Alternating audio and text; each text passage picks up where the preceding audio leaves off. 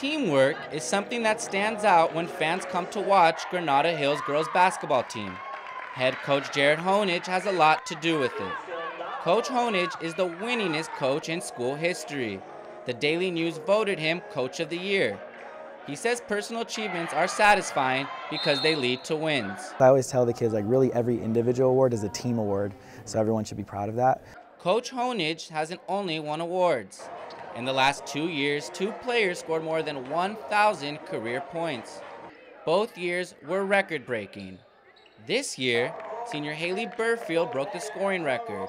Scouts, coaches, and teammates say she has heart, hustle, and leadership. When someone messes up in a way, whatever way in the game, it's like the seniors and I, we're there to help them. Like we're friends, we're family. Even if Granada doesn't win it all this year, the team should be in good hands for the future. 6'2 junior Haley Aiden is returning. They'll need her.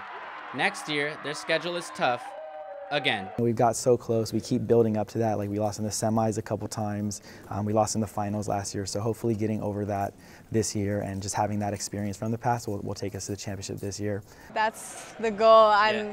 Do everything for the team to win the championship. We're trying to get a ring. We lost sadly last year to Fairfax, but this year we got it.